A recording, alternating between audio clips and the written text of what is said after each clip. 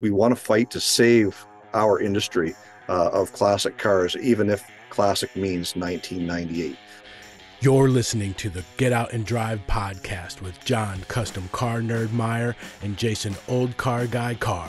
We'll be bringing you gearheads everything you never wanted to know about cars and why they should be on the road and not in your garage. Are you ready to get out and drive? Guys, welcome back to another fantabulistic Get Out Drive podcast. My name is Jason, old car guy Carr. And I am John, custom car nerd Meyer. John, we've been hearing in the news an awful lot lately about how EPA and uh, our industry, the automotive industry, is, in my opinion, being attacked uh, for things like, you know, emissions and uh, you know certain things that we do in our in, in our community, right down to they've changed our paint uh, and stuff like that. So we're we're dealing now with people who just simply want to drive their vehicles, their hot rods, their classics, as daily drivers. And we're running into troubles, John. What kind of troubles are we running into with these people just plating their vehicles as antiques and daily driving them? If you had a vintage car, and eh, traditionally and still everywhere, it's from today's date, 25 years prior um, from from this model year, that is considered a vintage car um, by U.S. law. I don't know how they do it in Canada, um, but I know that uh, in the United States, that's that's where everybody starts. And it was fine when people wanted to drive a 55 Chevrolet and this and that, and they drove it a limited time throughout the year. You're supposed to keep a log book. You're supposed to keep, uh, I think it, the minimum, somebody correct me if I'm wrong, but I think it was under 2,000 miles a year. Uh, they had lots of limitations. They had a big, long thing that said you're only supposed to go for uh, display of the vehicle, um, for uh, tuning and adjustments, and for parades and all sorts of stuff. And and that was very limited use for the vehicle because they wanted to make sure that if you had those limited use license plates, you weren't driving the car every day. The world progressed and time marched on. Technology with cars got better and better and better. Now, 25 years previous to now, is considered a used car to me. And it's not a Model T, it's not a Model A, it's not a very difficult to drive car. It's a generic truck that you'd see anyone driving on the road.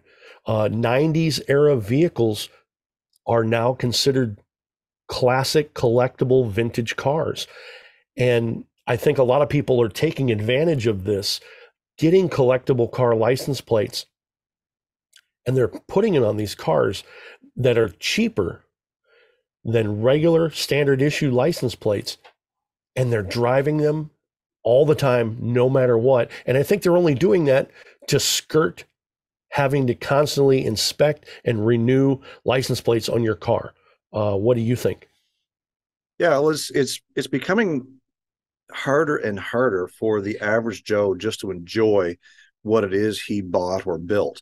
And you know, I want to jump in just for a split second and say, I don't know about you, but 25 years ago to me was 1980 like not 1996 97 like right. this is the point that we're at now if you're driving a 1997 lincoln town car like the one i just sold um, there are still emissions standards that you have to meet with those cars.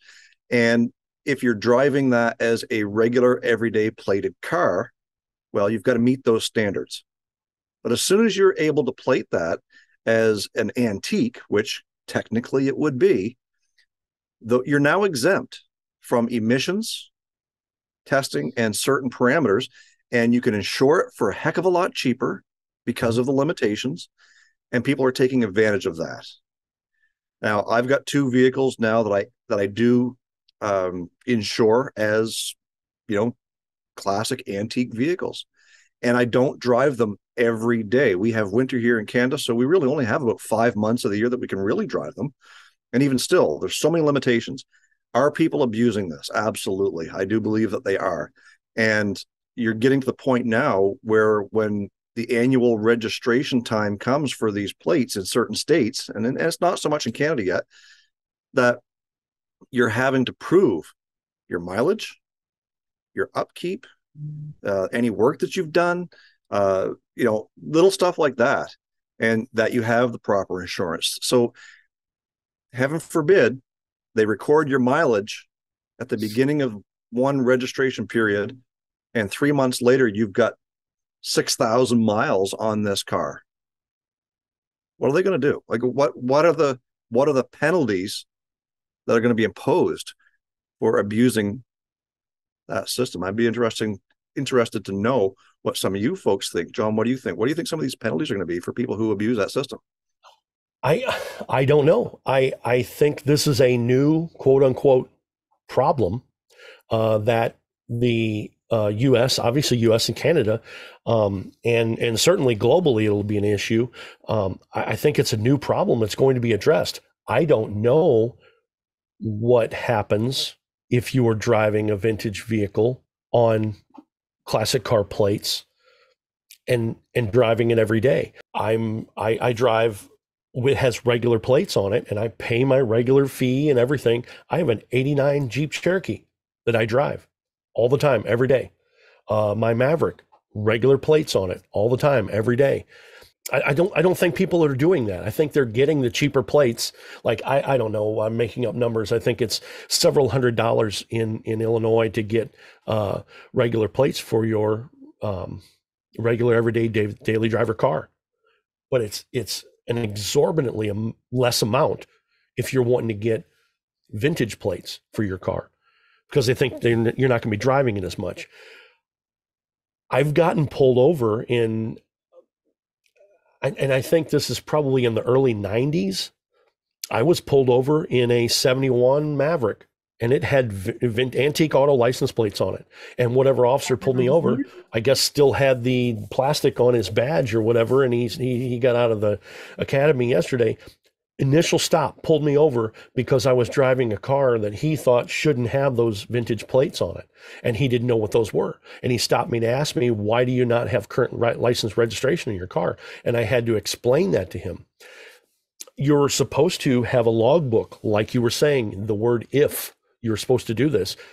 When you get pulled over, or if you get pulled over as an initial stop and you have vintage license tags on your car, you're supposed to have a logbook that says on this date I had this mileage and this is what I did. And you have to give them a reason why you're driving the car that day.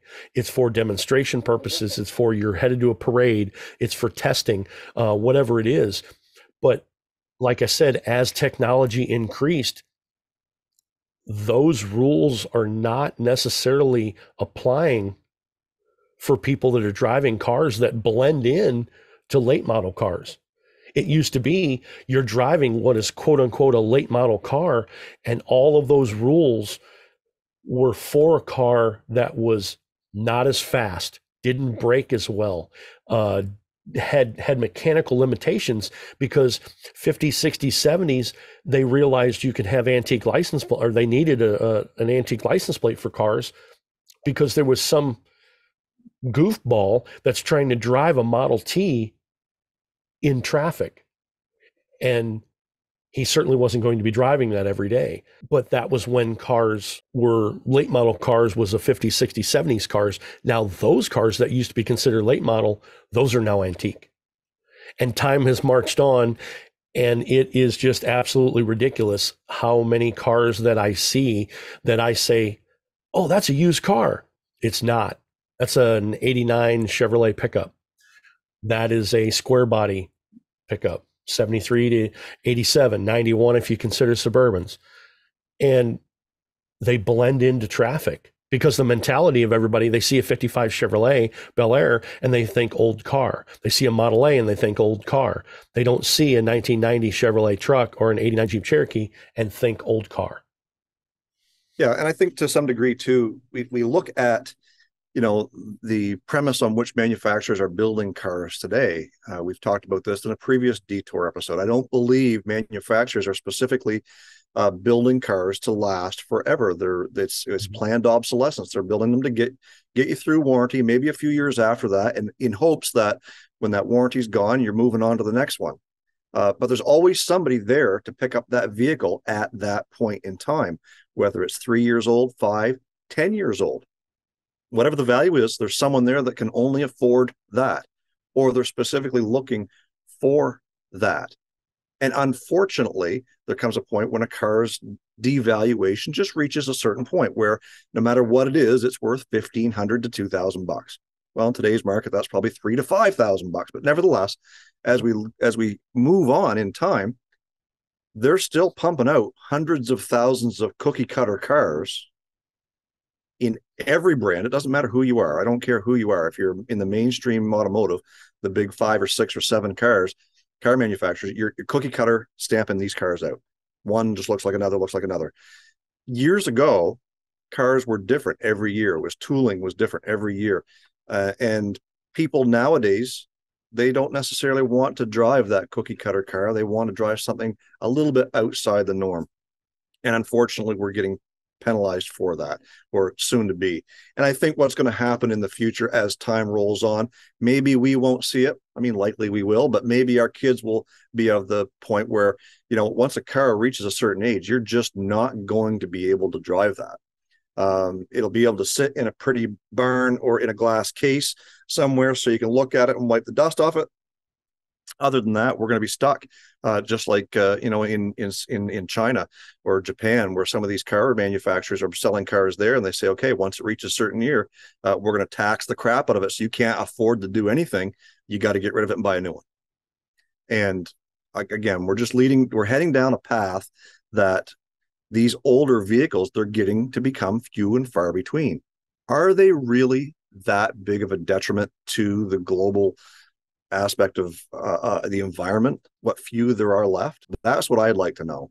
Um, it's a very small percentage of cars that are over 25 years old right now that are on the planet. Do we really have that big of a footprint that we got to crack down that hard on? I do know that people are starting to shy away, and especially in Illinois, where I'm at, uh, Metro St. Louis, I'm seeing the average age of cars get older and older and older. It used to be that you never saw a 90s era Camry. You'd never see a square Cavalier.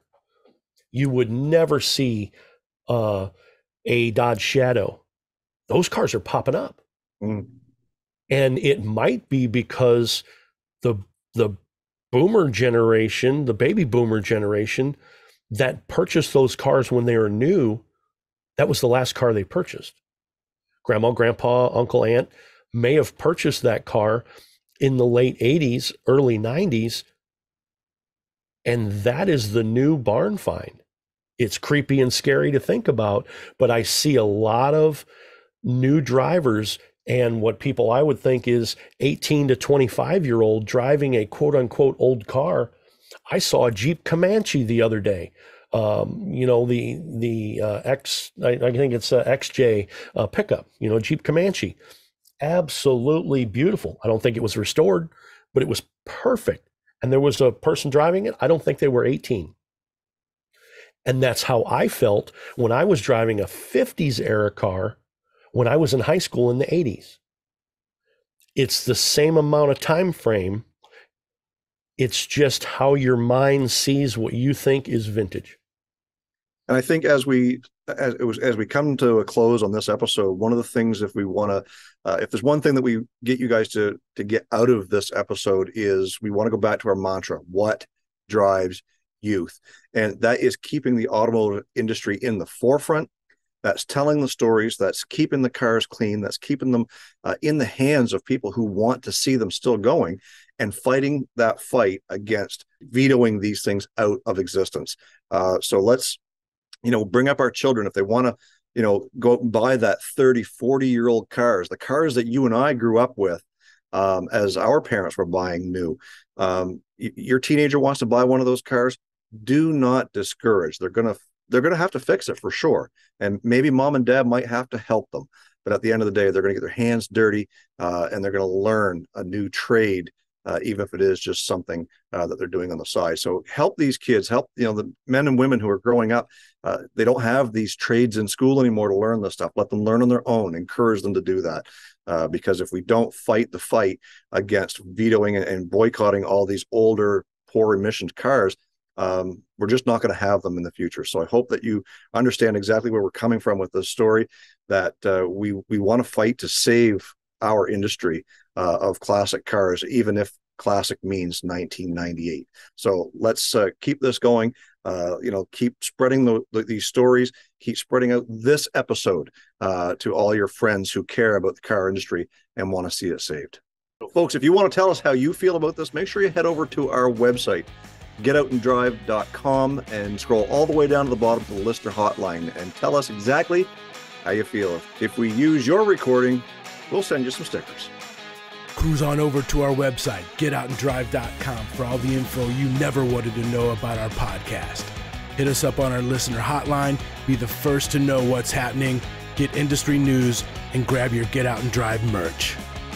Connect with us on social media. Find us on Facebook, Instagram, and TikTok. Follow us on Twitter at Get Out and Drive Pod. What drives you here?